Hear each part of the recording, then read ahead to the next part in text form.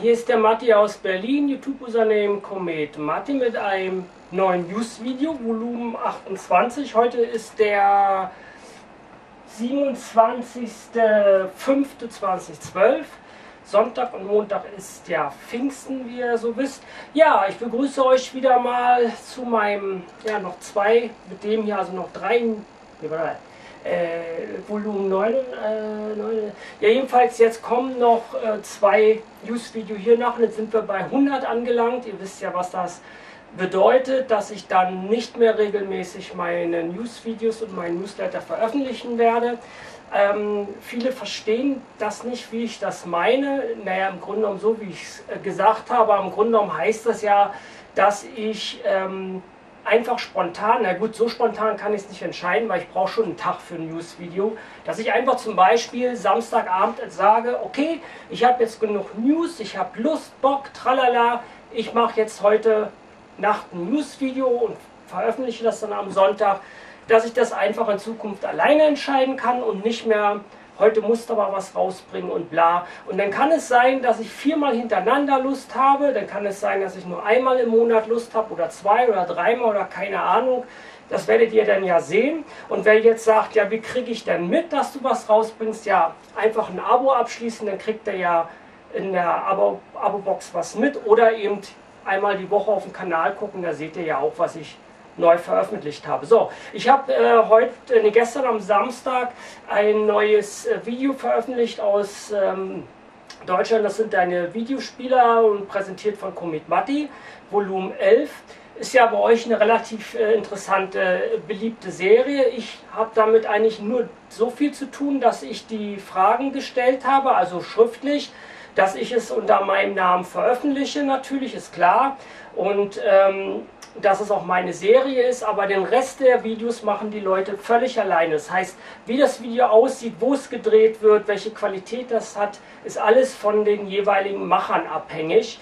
Und ich kontrolliere das zwar alles, aber wenn das so einigermaßen passt, dann wird es veröffentlicht. Ich hatte die Serie ja eigentlich schon beendet, weil ich genug Material hatte und ja, mir war der Ansturm nachher auch einfach zu hoch.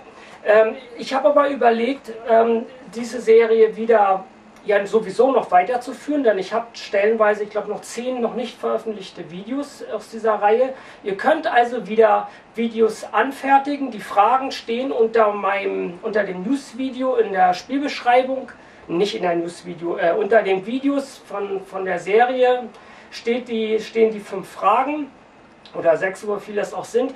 Die könnt ihr beantworten, wie immer ihr das auch wollt. Ob ihr da was zeigt oder sonst was.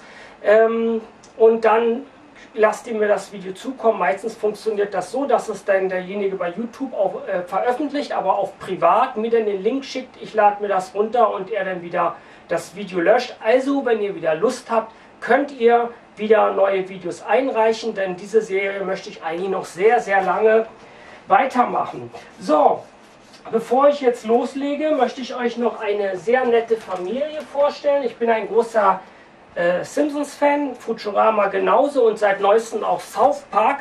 Und die kennt ihr hier alle, die Bohnenstange, das ist die äh, Mutter. Das ist unser allseits beliebter Bart, frech wie sonst was.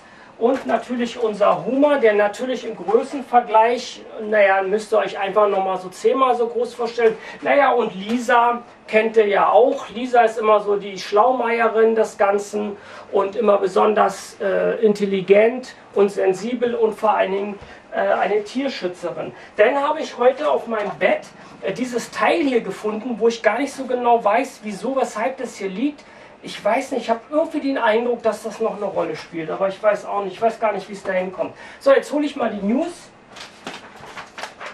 Und, achso, und letzte News-Video habe ich ja vor meinem Chinchilla äh, Käfig gemacht und da haben einige gefragt, was das für Tiere sind. Sind das Mäuse, Ratten? Einer hat sogar gefragt, ob das Hasen sind. Nein, das sind Chinchillas. Und wer nicht weiß, was Chinchillas sind, einfach mal zum Beispiel bei YouTube eingeben, da gibt es genügend Videos. Ich habe ja auch äh, einige veröffentlicht von meinen Chinchillas. Das sind sehr exotische Tiere, das heißt, die kriegt man nicht in jeder Zoohandlung. Ähm, sie werden auch nicht von sehr vielen Leuten gehalten, obwohl es eigentlich sehr süße Tiere sind, aber Man sollte sie schon am Tag eine Stunde laufen lassen, aber ich meine, wer einen Hund hat, der muss teilweise noch viel mehr Zeit investieren. Guckt euch mal die Chinchillas an, sind sehr intelligente Tiere, aber sie knappern natürlich auch alles an und können teilweise ein bis anderthalb Meter hoch springen. Das heißt, man muss da schon ganz schön ordentlich was bauen. So, jetzt kommen wir zu den News. Fangen wir mal hier einfach schon mal an. Und zwar Max Payne 3 ist ja jetzt erschienen. Äh, die deutsche Version ist dezent geschnitten. Und ähm, ja, dazu habe ich jetzt gleich eine Meldung. Ansonsten ist ähm, das Spiel hier erschienen. Na, wo haben wir es denn? Das ist wieder mal super vorbereitet. Ich kriege gleich einen Anfall. Genau, das ist hier erschienen. Äh, das ist jetzt hier so eine ups, Vorbestellerbox. Und ja, habe ich mir auch geholt und zwar, da gibt es ja zwei Versionen. Einmal die UK-Version mit einem Resident Evil 6 äh, Demo. Ob man da selbst spielen kann, weiß ich nicht. Sagt, sagt ihr mir das, wenn einer von euch das gekauft hat? Und ähm, die deutsche Version, also natürlich beides uncut, hat 100 zusätzliche Quests, aber dieses, diese Demo nicht. Und ich denke mal, früh, die, an die Demo kommt man früher oder später sowieso ran. Ähm, gerade übers Internet oder so. Und dann habe ich die Version mit den 100 Quests genommen. So, zu Max Payne zurück. Es sind bereits 3 Millionen Max Payne weltweit ausgeliefert. Das, aber wie gesagt, es steht hier wieder nicht, ob da die geschnittene oder ungeschnittene, was sich da besser verkauft hat. Das Unternehmen Take-Two gibt bekannt oder gab bekannt, dass von dem Shooter Max Payne 3, PS3, Xbox 360 äh, rund 3 Millionen Einheiten weltweit an den Handel ausgeliefert wurden. Die äh, Max Payne Version von, P also die PC Version von Max Payne 3 äh, kommt am 1.6., äh, wenn es nicht verschoben wird. Das Spiel kam am 15.05.2012 in Amerika und am 18.05.2012 in Europa und Deutschland auf den Markt. Ich habe es persönlich noch nicht gespielt. Rockstar Games ist ja nun eine relativ äh, gute Firma, aber mal sehen, äh, zurzeit äh, interessiert es mich nicht so. Street Fighter X Tekken neuer Patch ab Mitte Juni. Das Unternehmen Capcom, äh, von dem übrigens auch dieses Dragons Dogma kommt, ähm, gibt, gab bekannt, dass man für Street Fighter X Tekken, PS3, Xbox 360 einen weiteren Patch Mitte Juni 2012 weltweit anbieten wird. Der Patch soll die Abstürze des Prügelspiels ausmerzen, die es seit dem Update 1.04 hat. Sobald äh, was? Messerähnliche Projektile äh, mit einem Feuerball ko koalinieren, also zusammenstoßen, äh, friert das Spiel ein und stürzt ab. Das ist immer so ein Albtraum, wenn ein Patch rauskommt, weil der eigentlich Fehler beseitigen soll und dann wieder zu neuen Fehlern führt. Das sind natürlich dann immer so Albtraumfehler. Äh, so, ja, Wii U, das ist die neue Konsole von Nintendo, wie spricht man nicht Wii U? Ähm, da behauptet der Herr Vigil, ähm, Wii U Darksiders 2 Grafik mindestens so gut wie PS3 und Xbox 360. Die Grafik der Wii U Version von Darksiders 2 kommt für PS3, Xbox 360, Wii U raus, soll mindestens so gut sein wie in den PS3 und Xbox 360 Versionen. Das hat Asus Produktor J. Fitzloff vom Entwickler Virtual Games bestätigt. Erscheinungstermin für die Wii U-Version noch offen. Darksiders 2, wo man ja mit dem Tod herumhüpft, äh, werde ich mir auf jeden Fall holen. Ich fand den ersten Teil schon klasse. So, Deutschland, Europa, Uncharted 1 und 2 als Download ab dem 27. Juni. Sony gab oder bekannt, dass Uncharted Drakes Schicksal und Uncharted 2 Game of the Year Edition im PSN in Deutschland ab dem 27.06.2012 als Download erhältlich sein wird. Also beide. Ja, interessant, interessant. So, mal gucken. So, PS-Klassiker Tomba. Das ist so ein kleiner Neandertaler-Typ. Sehr schönes Jump und Run. Äh, diesen Sommer im PSN. Monkey Pay Games gab bekannt, dass der PlayStation-Klassiker Tomba, der ist 1997 erschienen, im Sommer im PlayStation Network veröffentlicht wird. Überhaupt, wenn man jetzt so guckt bei Xbox Live, ist ja jetzt eine Alex Kid-Serie, also Alex Kid-Spiele erschienen, also nochmal neu aufgelegt worden, oder Wonder Boy. Wenn man sich dann teilweise die Grafik anguckt oder auch die Jahreszahl liest, ja 1991, 89, dann merkt man erstmal, was für eine alte Sau man geworden ist, was für eine alte Schnepfe. Aber ähm, ich bin stolz, dass ich seit Anfang an dabei war, von diesem Pong da, pling, pling, pling. Und wer hätte gedacht, dass sich die Grafik mal heute so entwickelt, ist, ist schon sehr beeindruckend. So, machen wir noch was. Resident, Resident Evil 6, ungeschnitten in Deutschland. Das Unternehmen Capcom gab bekannt, dass das Actionspiel Resident Evil 6, PS3, Xbox 360, völlig ungeschnitten in Deutschland am 2.12.2012 erscheinen wird. Das Spiel bekam von der USK die Kennzeichnung keine Jugendfreigabe. Ja, gut für euch, schlecht für den Fachhandel, aber gut, muss man sehen. So, was haben wir denn hier noch Codes? Äh, Resident Evil The Dark Side Chronicles HD, PAL-Termin. Das Unternehmen Capcom gab bekannt, dass der Shooter Resident Evil The Dark Side Chronicles HD am 27.06.2012 im europäischen PlayStation Network für 14,99 Euro erscheinen wird. So, dann machen wir wieder eine kleine Pause äh, mit den News. Ja, wo wir gerade bei Nostalgie sind, das war damals einer der Packungen für das Super Nintendo. Ich hatte vorher erstmal den Sega Mega Drive besessen und da wurde hinten mit diesen Spielen hier geworben. Wie ihr seht, das waren halt, die waren halt hinten abgebildet. Hier haben wir den Joypad, hier haben wir die Konsole. Für die Leute, die äh, dieses Gerät nie gesehen oder besessen haben. Das war, ähm, wie gesagt, erst kam Sega Mega Drive, habe ich mir dann geholt und dann kam das Teil hier raus. Und ja, war damals eine kleine Revolution. Sega und Nintendo waren ja damals noch ja, Feinde, Konkurrenten, sagen wir es mal so harmlos. Und ja, ich hatte immer alle Konsolen da, äh, Neo Geo 3DO, wobei Neo Geo 3DO habe ich ganz schnell verkauft, da waren äh, die Geräte und die Spiele recht teuer, gerade für den 3DO.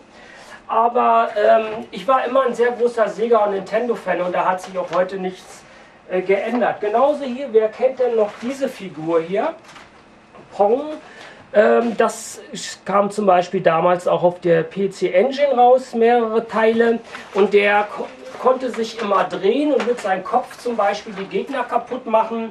Auch ein sehr schönes äh, Spiel. PC Engine ist ja auch nicht offiziell in Deutschland raus.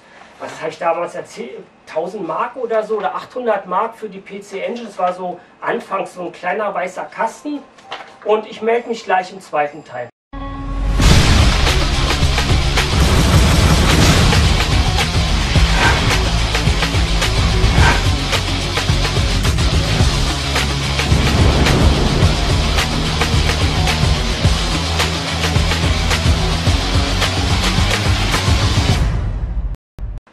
Willkommen zum zweiten Teil meines News-Videos. Ähm, ja, zu PC Engine nochmal. Ähm, das war so auch ein 8-Bit-Gerät, hatte, war eigentlich so auf Master-System-Niveau, hatte aber wirklich für diese Verhältnisse fantastische Grafik. Äh, Neutopia 1 und 2 waren so meine Lieblingsspiele. Ansonsten, bevor ich mit den News weitermache, ihr kennt ja alle unseren heißgeliebten Uwe Boll. Ähm, das ähm, ist ja ein Regisseur, der gerade gerne so Videospiele verfilmt. Mein absolutes Lieblingsvideospielverfilmung oder die absolute Lieblingsfilmverfilmung ist Silent Hill, nach wie vor. Und der hat auch äh, das hier verwurzelt. Ihr kennt ja ähm, einige von euch vielleicht diese beiden Spiele, da gibt es ja auch zwei Teile. Und ich habe mir den ersten Teil erstmal angeguckt. Da hat noch Ben Kinsley mitgemacht von Gandhi und noch so ein paar Schauspieler, die ich kannte. War gar nicht so schlecht, also kein Burner, aber da floss dann noch Blut, die Effekte waren ganz gut, ungefähr 20 Millionen hat er dafür investiert, sagt man.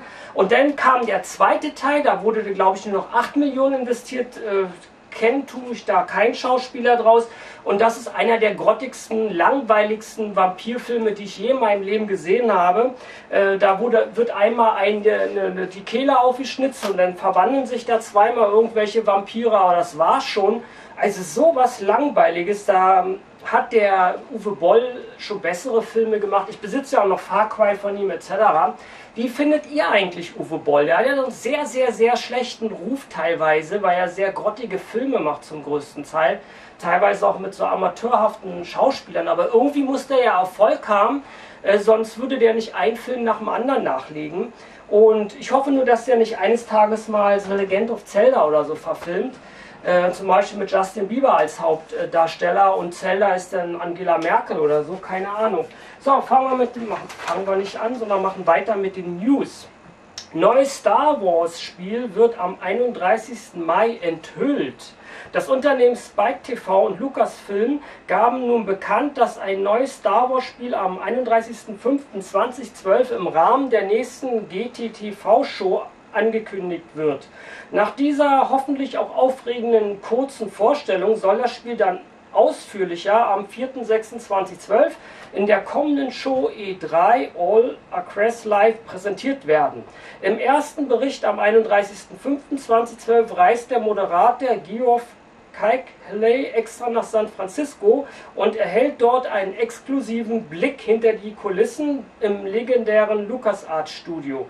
GTTV trifft sich dann auch mit dem Entwicklerteam bei LucasArts und enthüllt den Namen und das Konzept des neuen Star Wars Spiels.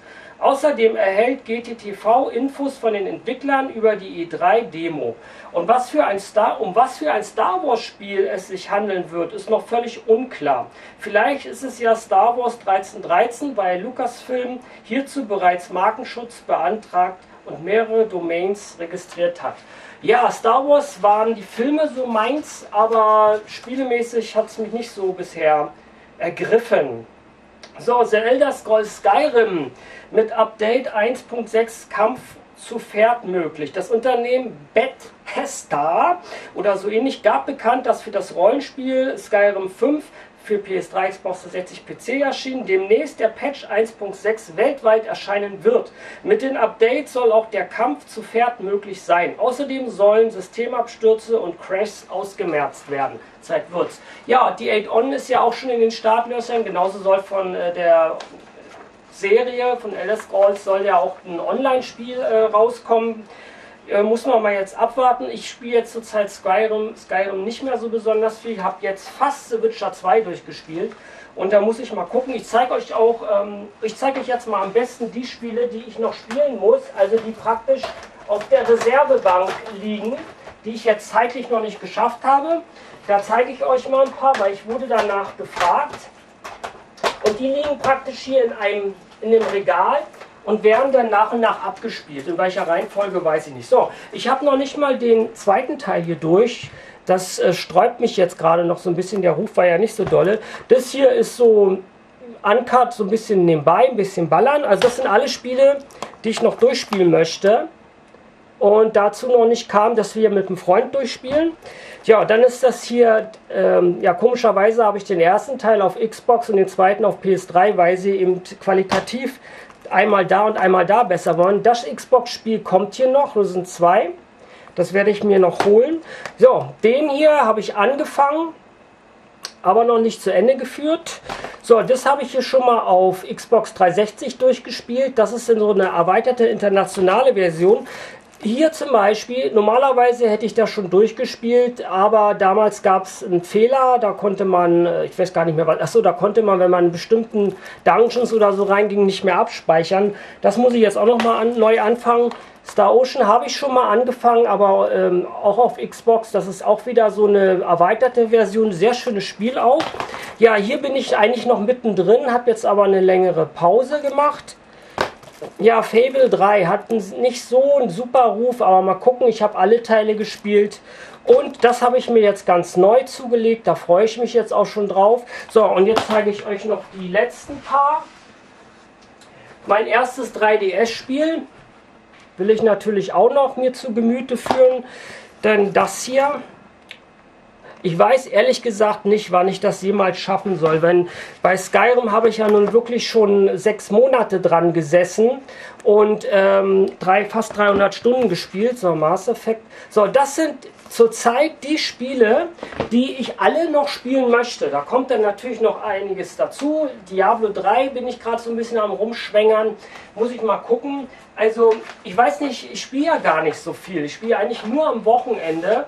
Und in der Woche spiele ich gar nicht. Und am Wochenende, wenn ich wirklich mal einen richtig äh, spielerhaften Tag habe, dann spiele ich vielleicht drei, vier Stunden. Und in dem Tempo äh, spielt man natürlich äh, nicht so viel durch. Ich habe dann noch auf meiner Xbox Puzzle Quest 1 und 2, das spiele ich auch noch nebenbei. So, äh, K. E3-Ankündigung könnte Zukunft der Spielekonsolen verändern. Der Videospiele Streaming-Dienst Gaikai schreibt in seiner aktuellen E3-Einladung, dass man einige wichtige Ankündigungen auf der E3, die geht von 5.6. bis 7.6.2012, machen wird. Diese geheimnisvolle Ankündigungen hätten das Potenzial, die Zukunft der Videospiele, der Spielekonsolen und die Art und Weise, wie man spielt, zu verändern. Wahrscheinlich, dass man über eine Plattform alles downloadet, das ist ja eh leider die Zukunft. Vielleicht deutet Gaikai hiermit ja eine Partnerschaft mit Sony an, über die gestern berichtet wurde, also vor kurzem. Demnach soll das Unternehmen Sony Gaikai angeblich für die PS3 anbieten, äh, so dass die Spiele-Streaming auf der Sony-Konsole möglich wäre. Achso, dann kommt dieses ganze Anmelde, Registrieren, Gedöns, wovor wir ja bis jetzt noch weitgehend verschont wurden und die äh, viele PC-Besitzer darunter leiden, kommt auf uns auch noch zu. So, hier Sony Patent unterbricht Spiel für Werbeeinblendung. Das Unternehmen Sony hat nun ein Patent beim amerikanischen Patent- und Markenamt angemeldet, das ein Spiel für die Einblendung von Werbung unterbricht. In der aktuellen Beschreibung heißt es, dass zunächst erstmal ein Warnhinweis auf den heimischen Bildschirm eingeblendet wird, bevor dann das Spiel unterbrochen wird.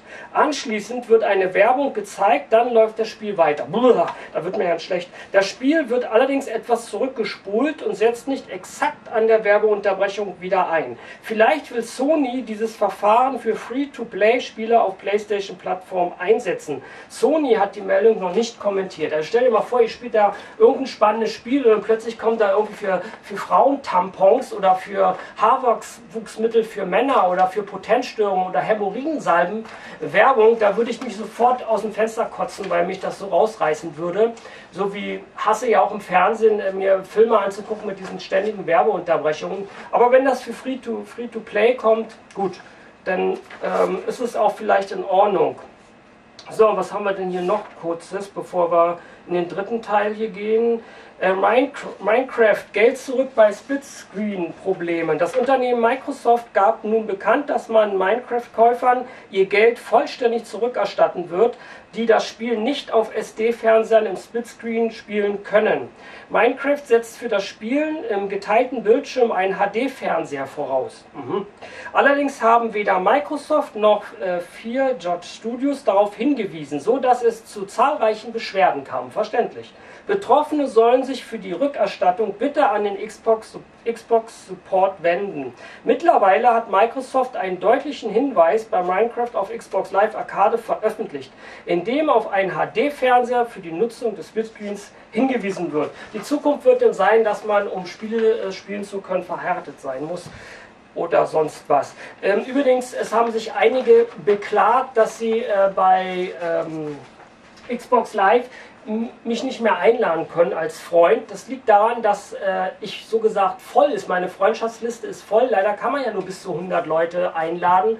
Und da sind jetzt genau 100 Leute. Die Warteliste ist lang.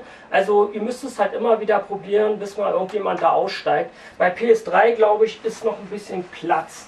So, bevor wir in den dritten Teil gehen, möchte ich euch nochmal hier Mützen vorstellen, die vielleicht der eine oder andere von euch kennt.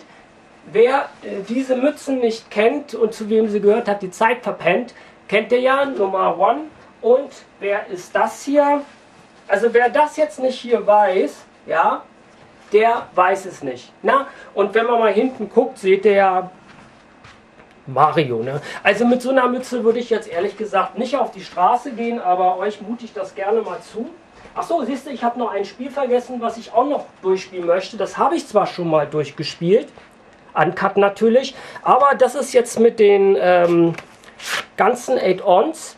Und das will ich nochmal von Anfang bis Ende durchspielen. Geniales Spiel, freue ich mich schon. Ach nee, das ist mein Spiel der Woche. Jetzt weiß ich, warum es woanders lag. Genau, das ist mein Spiel der Woche. Da freue ich mich schon auf den zweiten Teil. Der kommt so Ende des äh, Jahres. Also, und also ich mag die Comic-Grafik. Ich mag das allerdings natürlich auch nur uncut. So, ich wollte euch im dritten Teil nochmal mein 3DS zeigen, vielleicht auch in Action. Das Poster hier ist ähm, in der neuen GameStar mit dabei. Natürlich geht es hier um Diablo. Hat sich 6,5 Millionen Mal bis jetzt verkauft. Soll angeblich das meist oder schnellst verkaufte PC-Spiel in der Zeit sein. Irgendwas habe ich da Leuten gehört. Also läuft wie bescheuert. Zurzeit ist es ja immer mal wieder nicht lieferbar. Mediamärkte sind ausverkauft. Ich bin auch ausverkauft. Und viele vermuten ja, dass das so ein Trick ist von Blizzard oder von denen, die das vertreiben, damit man schön viel, für viel Geld äh, das direkt von denen äh, runterladet, da wird dann so eine künstliche Knappheit aufgebaut. Denn mir kann man nicht erzählen, dass die nicht davon ausgegangen sind, dass sie 7, 8 oder sonst wie Millionen davon verkaufen. Und da wird so eine künstliche Knappheit aufgerecht gehalten. Nächste Woche kriegt mein Großhändler, der der größte Großhändler in Deutschland überhaupt ist, gerade mal 300 Stück. Und wenn ich Glück habe, kriege ich nochmal zwei oder drei nach. Das ist natürlich ein Witz. Also beim ersten Mal habe ich immerhin 20 bekommen. So, ich melde mich gleich zum dritten und letzten Teil. Euer Matti aus Berlin.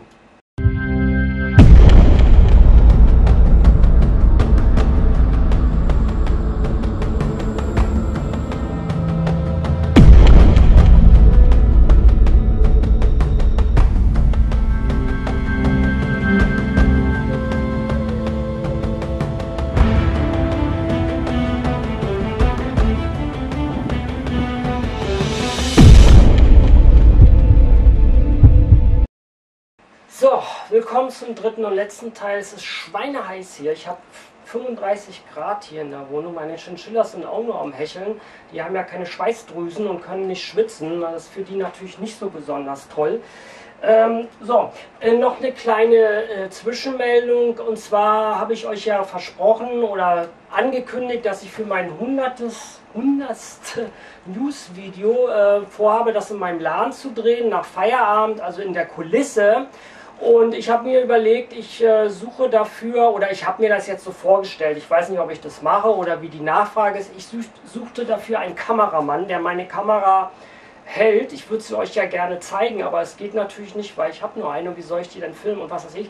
Ähm, dass, man, dass ich mich halt im Laden ein bisschen frei bewegen kann, ein paar Sachen zeigen kann, ohne dass ich die Kamera mal irgendwie justieren muss.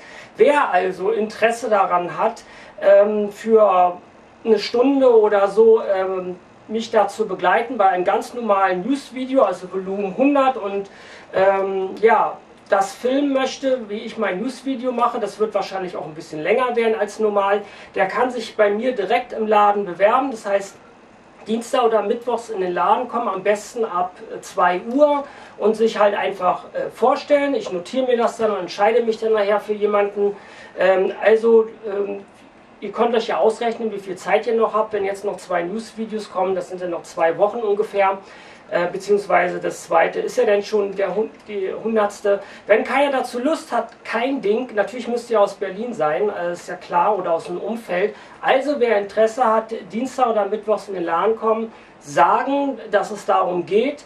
Und ja, vielleicht könnt ihr bei der hundertsten Folge mit dabei sein. Ich finde das schon, dass das was Besonderes ist für euch und auch für mich. Und wer Lust hat, bitteschön, könnt ihr euch bewerben. Ich bin in der Regel dann auch da, außer ich bin mal unterwegs. Aber ihr könnt natürlich auch erstmal vorher anrufen und sagen, ihr würdet um drei kommen, ist Matti da, wenn ihr euch absichern wollt. Wie ihr zum Laden kommt oder was weiß ich, ich mache hier keine Schleichwerbung. Geht am besten auf meine Homepage, guckt euch mein Profil an äh, oder gebt... Ähm, gebt Comet Game Store äh, bei, äh, bei Google ein. Also wer wisst, wer rauskriegen möchte, wo mein Laden ist, das ist gar kein Problem, das herauszukriegen. So, bevor ich euch jetzt versuche, den 3DS zu zeigen, gucke ich mal, ob ich noch News haben, habe. Capcom will Spieleentwicklung beschleunigen. Äh, das Unternehmen Capcom will in Zukunft die Entwicklungszeit seiner wichtigsten Spielemarken möglichst deutlich verkürzen, wie CEO Kenzo Tushimoto in einem aktuellen Geschäftsbericht sagte. Ganze fünf Jahre Wartezeit auf ein neues Devil May Cry Spiel äh, seien seiner Ansicht nach viel zu lang. Äh, statt für gewöhnlich drei bis vier Jahre an einem neuen Spiel zu arbeiten, sollen neue Titel in rund zweieinhalb Jahren auf den Markt kommen. Die schnellere Spieleentwicklung würde laut Tushimoto wahrscheinlich die Kosten erhöhen. Doch sei es überlebenswichtig, im weltweiten äh, Wettbewerb mit Qualität zu punkten. Zwischen den einzelnen Spielen sollen dann Download-Inhalte die teils lange Wartezeiten auf einen neuen Titel verkürzen. Äh, was ist das? Sag mal, ich habe zu viel Milch getrunken. Zwischen den einzelnen Spielen sollen dann Download-Inhalte, die teils lange Wartezeit auf einen neuen Teil verkürzen. Ja, gut, schauen wir mal. Solange die Qualität da nicht äh, drunter leidet, ist es ja äh, gut. So, hier haben wir alles durch vorgelesen. Star Wars habe ich auch gelesen, Resident Evil. Äh, Achso, noch eine Meldung habe ich. Aliens, Kolonial Marines, Wii U-Version, grafisch am besten, wurde leider äh, verschoben, das Spiel. Der kommende Wii U, die kommende Wii U-Version vom Shooter Aliens Colonial Marines, PS3, Xbox 360, Wii U, soll angeblich die grafisch beste sein. Das sagte jedenfalls Randy Pitchford, Entwickler von Gearbox Software. Zitat, die Wii U ist eine starke, starke Maschine und hat eine Menge neue coole Sachen drauf, sagte so Senior-Produzent Brian Burleson. Publisher und Entwickler haben vom Unternehmen Nintendo die Auflage erhalten, noch keine genaue Einzelheiten zur neuen Konsole bekannt zu geben, so dass die technischen Spezi Spezifikationen äh, immer noch ziemlich unklar bleiben. Auch Burleson darf deshalb noch nicht wesentlich konkreter werden. Doch allein schon wegen der modernen Technik in der neuen kommenden Nintendo-Konsole soll die Wii U-Fassung deutlich besser aussehen als die PlayStation 3 und Xbox 360-Version, meinte Burleson selbstsicher. Aber auch diesmal darf sich der Produzent nicht näher zur Technik der Wii U äußern. Zitat, du musst halt abwarten, kannst mir aber glauben. Naja, auch ich habe von Nintendo einen dicken Umschlag zugesteckt bekommen, damit ich schweige über die technischen Einzelheiten. Ich kann nur so viel zur neuen kommenden Wii U sagen und äh, was den technischen Maßstab anbetrifft, Tomate.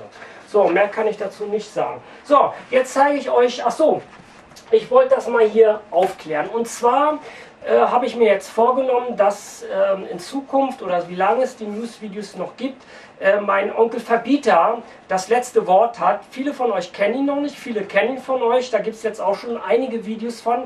Mein Onkel Verbieter ist eine Rolle, die ich spiele, ähm, der sehr umstritten ist und das finde ich gut so. Der wird gehasst oder geliebt und genau das finde ich klasse, äh, weil er also natürlich auf satirische Art und Weise für äh, geschnittenen Sachen sind. Die begründet er aber teilweise also mit Argumenten, die sind jenseits von Gut und Böse. Also der findet es gut, dass alles zensiert wird. Und der bekommt jetzt in meinen Videos immer die letzten, also bekommt fünf Minuten zum Ende oder drei oder vier und äußert sich zu irgendwas. Auch diesmal hat er sich wieder zu was geäußert. Und mein Onkel Verbieter ist ja mal jemand, der an, mit Hilfe eines Lutschers, ich weiß nicht, wie der das macht, ständig in meine Wohnung einbricht und dann hier irgendwelche Videos abdreht.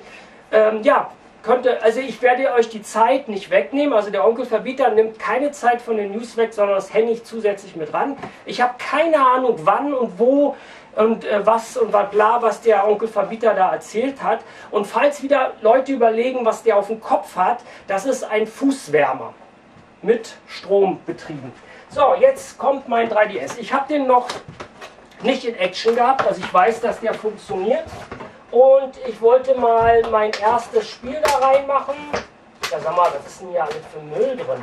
Ich hoffe mal, dass die Batterien in Ordnung sind. Wo habe ich denn jetzt das Spiel hingepackt? Äh, ah, das ist mal wieder ein super Timing hier. Wartet mal eine Sekunde, ihr wisst, es ist alles mega live. Ähm, ja, sag mal. Äh, ich hab's euch doch vorhin ge... Ah, da liegt's ja. So, wartet eine Sekunde. So, da bin ich. So, ich habe euch ja schon im letzten News-Video die Verpackungen gezeigt hier. So, und da ist so ein kleines Teilchen drin, das kommt in den Arsch der Konsole.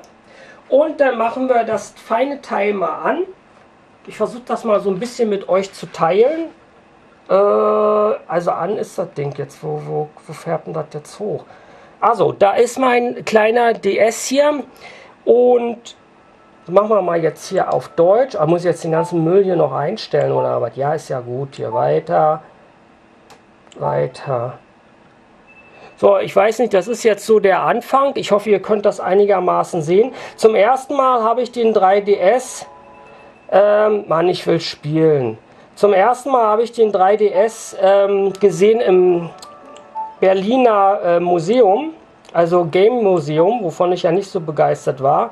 So, der scheint äh, relativ neu zu sein. Den habe ich für 70 Euro gekauft. Pass mal auf, ich mache kurz Pause und äh, dass das Mario ähm, angeht, sonst verschwende ich so viel Zeit. Bis gleich.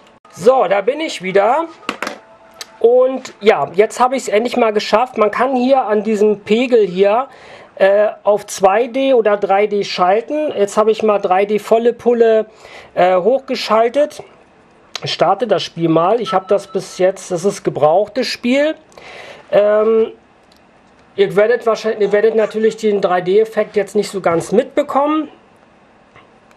Zack. Äh, was man hier mal, Mann, also dass man hier zu Pötte geht, ja. Das ist furchtbar hier. Och Mann. So, Jetzt geht's los. Ich soll A drücken. Ich will euch nur mal ganz kurz. Das ist jetzt ein Spielstand, der nicht von mir ist. So. Halt die Fresse. So, ne? Also wer Nintendo kennt und mag, ich tippe mal jetzt hier einfach rum. Boah, also immer hier mal los spielt. Ach so, sorry. So, hier springt die alte. Guck mal hier und und jetzt kann man natürlich den 3D-Effekt auch feststellen, aber wegstellen, aber da werdet ihr jetzt keinen Unterschied sehen, denke ich mal. Wie steuert der sich denn? Ach so, hier. So, ne? Spiegelt so ein bisschen hier, sorry. Na, jetzt habt ihr es mal gesehen. Ich kann natürlich jetzt schlecht spielen. Ja, mein erstes äh, Spielchen für den 3DS. Ist eine schöne Sache. Der 3D-Effekt ist ganz gut, wobei äh, es Spiele gibt, wo mir relativ schnell schlecht wird. Aber ich sehe gerade, es ist echt klasse. Also es ist ein tolles Gefühl. Ich habe das noch gar nicht richtig benutzt. Also kann ich nur empfehlen. Mach ich mal wieder aus. So, ja, ich besitze ja auch die anderen äh, DS-Dinger hier, aber das ist eine feine Sache. PS Vita habe ich mir noch nicht geholt. So, jetzt kommt der Onkel Fabita. Wer ihn nicht mag, kein Problem. Ihr könnt ihn ruhig hassen, das stört mich und den Onkel Fabita gar nicht. Der Onkel Fabita hat Kultstatus. Ihr müsst euch mal seine Videos angucken. Der quatscht da teilweise einen Müll, aber ist trotzdem damit erfolgreich. Also, bis nächste Woche. Denkt dran, wer die Kamera da führen will, kann sich bei mir melden. Bleibt alle gesund. Ähm, Übrigens mal eine kleine Sache. Stellt euch mal vor, äh, ihr bestellt irgendwo ein Spiel bei einem Händler und das Spiel entspricht bei eBay oder bei Amazon, das Spiel entspricht nicht der Qualitätsfassung, äh, wie der Händler angekündigt hat. Er sagt, wie neu und ihr stellt fest, das ist der größte Schrott, was er euch geschickt hat. Gibt ihm daraufhin eine schlechte Bewertung, weil sich der Händler nicht, äh, nicht entschuldigt oder so. Habt selbst einen Account bei eBay oder sonst was und der kauft dann extra von euch ein Spiel, was er gar nicht haben will, nur um euch dann nachher schlecht bewerten zu können. Das sind so Mafia-Methoden und nachher sagt dann der Händler, pass auf, ich lösche deinen ich lösche meinen äh, schlechten Beitrag, meine negative Bewertung erst, wenn du deine äh, wegmachst. Ansonsten bestelle ich wieder ein Spiel und mache dich weiter runter, dass dann natürlich der andere das auch machen kann. Aber so wird man mundtot gemacht. Ich stehe diesen ganzen Bewertungen sehr zweifelhaft gegenüber und da kann man ganz schön viel Missbrauch mitmachen.